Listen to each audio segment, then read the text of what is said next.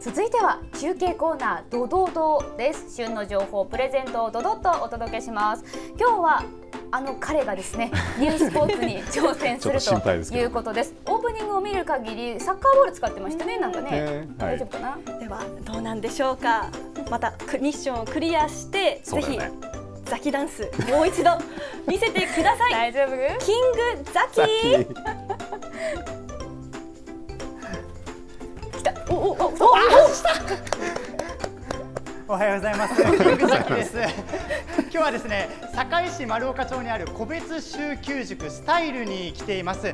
こちら室内の子ども向けのサッカー教室なんですが、ここでニュースポーツを体験することができるということです。今日のゲストまず紹介しましょう。こちらです。すはい、塾長の片岡さんです。片岡さんもね、ちょっと僕が失敗してしまったから悪い連鎖を生んでしまってすみませんでした。はい、片岡さんよろしくお願いします。よろしくお願いします。片岡さん、ここのスクールでは他のスクールとは違う練習法があるそうですね。そうですね。一応日本では初めてフットボールというものを入れさせてもらいまして、この壁ですか？はい、壁です。確かに公園の壁のようなものですね。はい、そうですね。一応ボールを当てていただくと返ってくるような形になるので、一度やってみましょうか。はい。まあ、壁すらないからね。珍しいですよね。室内でもこういう練習ができる。こんな感じです。浮いてます。浮いてます。浮いてる浮いてる。ゴロでゴロでゴロで。弱く弱く。はい弱くはいしっかり。こんな感じですかね？基礎練習なんですね。そんな感じですね。こうやってマンツーマンで教えてもらえるのめっちゃ嬉しいですね。そうですね。一応屋内型でマンツーマンは世界で初めてなんじゃない世界で初。はい。すごいですね。やっぱり屋内ということで、まあ今の梅雨の時期であるとか、あと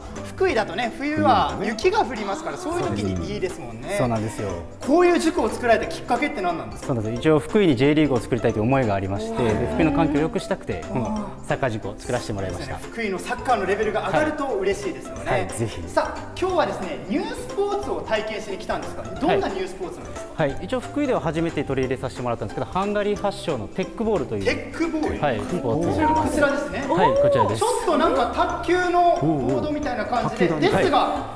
水平ではなくて、ね、ちょっと曲線曲がってますよね。はい、そうです。えー、これでテックボールっていう競技なんですね。サッカーと卓球を掛け合わせたサッカーのあのテックボールになってまして、えー、サッカーと卓球。はいで3回リフティングさせてもらって相手に返すっていう3回以内で返すっていう使うんだそれはヘディングとかリフティングとかでももとか3回以内に相手に返すっていうことはちょっとバレーの要素もあるっていうことでそうです、ね、いろんな競技が組み合わさったスポーツということですね、はい、ちょっと実際に見てみましょうか、はい、お願いしてもいいですか？はいありがとうございます、はい、では実際に片岡さんにやってもらいます。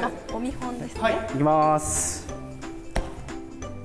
あ失敗。今のはサーブでしたねちょっとあの先生緊張してますね。大丈夫ですかやばいやばい。今のはだから僕の失敗ですしまってからダメなん僕の失敗です。こっちに入れないで。はい。もう一回卓球と同じですねでここにおおすごいすごいすごいなるほどなるほど。じゃあすごい。なんとなくルールわかりました。はい大丈夫ですか？えこれルール分かったので、ちょっと私もね楽しそうなんで挑戦したいと思います。相当難しいそれで今日のミッションこちらのテックボールでいきたいと思います。今日のミッションこちら。ミッションやっちゃうの？一応キングザキが勝てば あ3点取ればはい今日のキングザキチームというのは僕と片岡先生。これタッグ組みます、はい、キングザキチームが先3点取ると、うん、はい。リフティングボール5名様に。リフティングボールこちらですね。タイガーショットというリフティングボール。これ大人から子供まで楽しめるリフティングボールとなっています。いや本当にうまなってますね、はい、うまなってますねうまなってますか？はい。リハーサルでやらせてもらいます。はい。でこちらのリフティングボールをゲットするためにですね今日はミッションかけて戦いたいと思います。相手チーム紹介しましょう。こちら、チームスタイルの坂口さんと山田さんです。よろしくお願いします。よろしくお願いします。マッチョとテクニシャンなんで。強そうですよね。普通に強そうですよ勝てるかわかりませんが頑張ってみましょう。3点選手ということで。はい、やっていきましょうか。はいやりましょう。ちょっとね。さあ行こう先行いきます。じゃあ片岡さん、サーブでいきましょう。サーブでいきます。いきます。はい。ザッキーもちゃんと参加してねお惜しい。ちょっと落ちてしまいましたね。これが入ればよかったねイスラエルチーム1点入りました。力加減次行きましょう。次次行きましょう。いやでも形は良かったよね。はい。よいしょ。頑張れ。ヘディング。強かった。いいボールいい感じで飛びあれ？これが入ればね。タッチポイント。頑張りましょう。まだまだいけます。やって絶対やっていきましょう。ザッキー一番いいとこ持っていってるよね本当いきにます。決めよう。1点返したい1点返したい。ちゃんと決めよう。いいよいいよ。パスがうまい。ザッキーよいしょちょっと待って。ちょっと待って。これなんかもうもう一回ちょっと待ってはないよ次1点取ろう1点ぐらいで特別にちょっとねこんな格好悪い姿ばっかり見せられない確かに一番ひどいね今日一番ひどい一番ひどいせっかくいいボール上げてもらってるのにさ。